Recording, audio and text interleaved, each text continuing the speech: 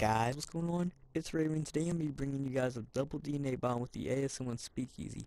As you can see right there, we just died on a gun streak, and we were actually on a 17 gun streak, so I got a bit mad and I caught on the DNA bomb. But we still managed to get the double DNA bomb, so that is awesome. I'm happy for that. This could have been a triple DNA bomb, um, but who knows? We can't live in the past, we can't dwell on the past. And that's kind of the topic that I want to talk to you guys about today and that is don't play while you're angry.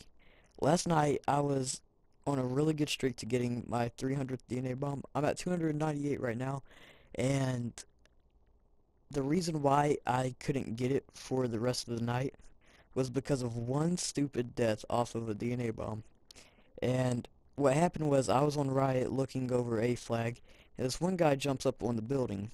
And I was telling myself in my head before all of that, I shouldn't be in that position. Like, there's no system hack, there's no UAV up. It's a dumb position to be in, and I shouldn't be up there. So pretty much this one guy jumps up, and I double jump back. So I'm in the air, way back, because I dash back as well, and this guy punches me. There was no way that this hit me. He wasn't looking at me. Like I said, I double jump back.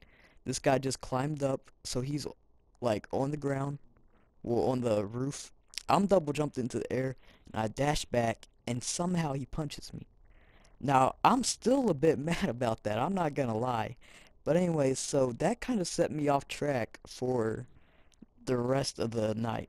And I stayed up way too late anyways, like 4 a.m. in the morning, you know, just playing with friends.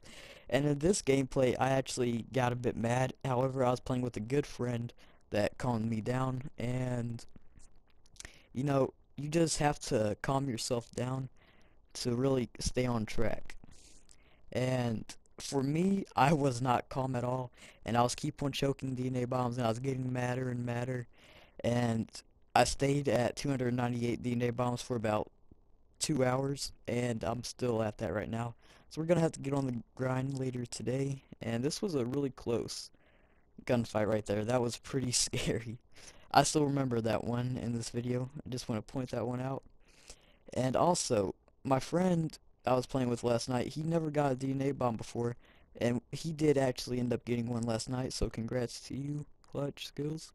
And pretty much, his problem was he was choking and he was playing angry, but he eventually calmed down and he got his DNA bomb. But what he was doing is, I told him not to play slow when he's close to a DNA bomb.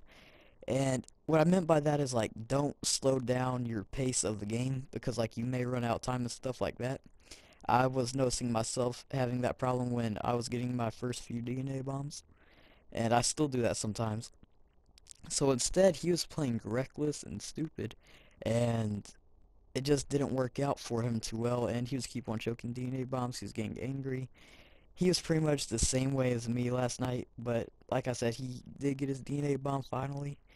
And also, how many DNA bombs do you guys have? I think that would be really interesting to know because I'm sure that there's some of you guys that are a lot better than me. Like my clan manager, Phonics, I'm sure he has close to a thousand, if not over a thousand by now.